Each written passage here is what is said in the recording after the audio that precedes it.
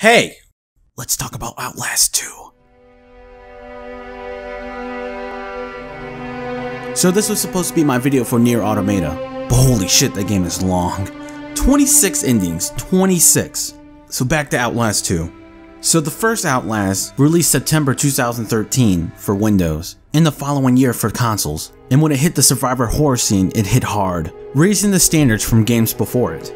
The game featured a lot of jump scares, visual and audio cues, and a unique camera mechanic that's equipped with night vision to help you see in the dark. And trust me, you needed it. But the camera mechanic added a stress factor to it, with very limited battery power. It kept you on your toes looking around, finding new batteries while avoiding enemies. And something else that made it unique was the fact that you can't fight off enemies, you have to run. These two things were the driving point that gave Outlast its own identity in the survivor horror genre. Then comes Outlast 2 all set in a whole new region with all new characters. All we know about the plot for sure is what's stated in the opening scenes of the Outlast 2 demo.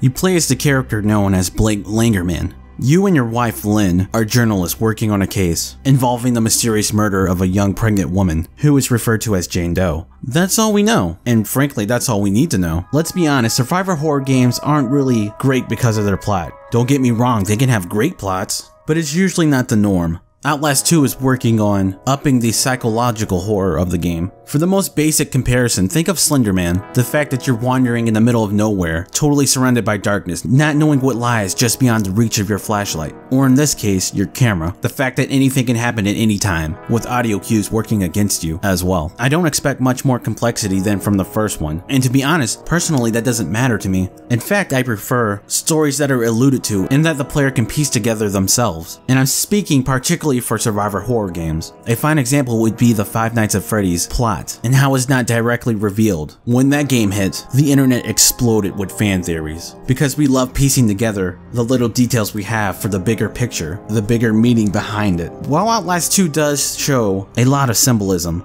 I don't expect much subtlety, which is fine. It's understandable that the developers focus more on the actual experience than the story. There are no new mechanics that are revealed yet, but I'm sure we do expect a few new ones. I mean, I don't feel that the camera mechanic has gotten old yet. Then again, I can't imagine much what else they could have added, so it should be interesting to see what happens. I am really excited for this one. Just judging by the demo, there's going to be a lot of disturbing imagery and symbolism in Outlast 2. Oh my god, you see the ending for that demo? Oh, it makes me squeamish. Yeah, there's gonna be a lot of what the fuck moments. But those are the moments we love, right? So the release date has been confirmed for April 25th. Along with Outlast 2 will be the Outlast bundle release, known as Outlast Trinity. This includes Outlast, Outlast Whistleblower, and Outlast 2. As of release, there are only physical copies available for Xbox One and PS4. Outlast 2 alone will be $30, while the Outlast Trinity bundle will be $40 at release. There you have it, new characters, new settings, new plot, hopefully new game mechanics. This should be interesting. Though there's not much else to say, I was hoping I would learn a lot about Outlast 2 before I started doing research for this video, but I couldn't find much. So there you go, we're just gonna have to wait for it.